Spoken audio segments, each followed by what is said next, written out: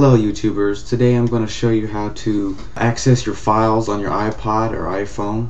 So let's get started. First you're going to need to install OpenSSH in Cydia and if you don't have Cydia please watch my other video to show you how to get that. So let's go ahead and go to Cydia.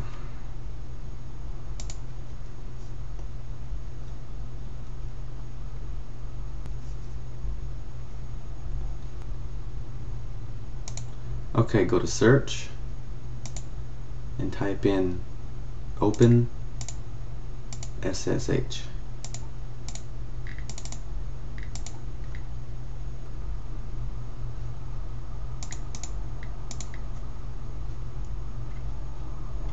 Okay, as you can see I have OpenSSH already installed.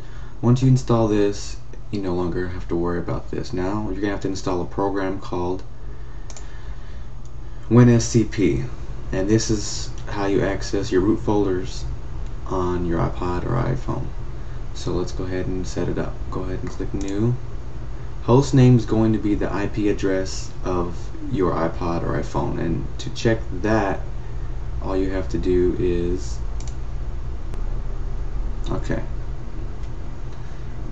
If you already have SBSettings go ahead and swipe your status bar at the top and then your IP address is going to be right there. If you don't, just go to settings, go to Wi-Fi, click on the little arrow, and right there is going to be your IP address. Okay, so type in your IP address right here. For username, you're going to type root R O O T. And for password by default it's going to be Alpine A L P I N E. And you can always change your password to whatever you want later on. But for now go ahead and save this. And click login. It's going to ask for my password. Since I changed my password I'm going to go ahead and enter it Okay, there we go. I'm logged in.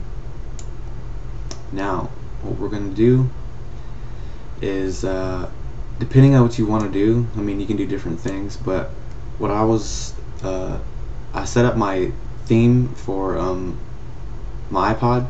I had to go into my var folder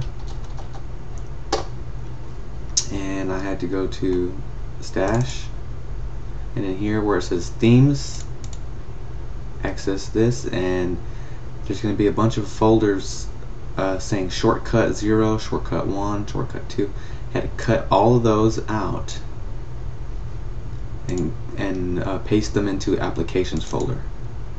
See here you can see them all. And this was so I can set up my themes for the SpringJumps. All these shortcuts are your SpringJumps. So I had to set that all up to make that work properly anyway um, that was just showing you how to um, use WinSCP and OpenSSH to access your, your root folder. So um, I hope you enjoyed this video. Comment and rate and many more videos to come. Have a great day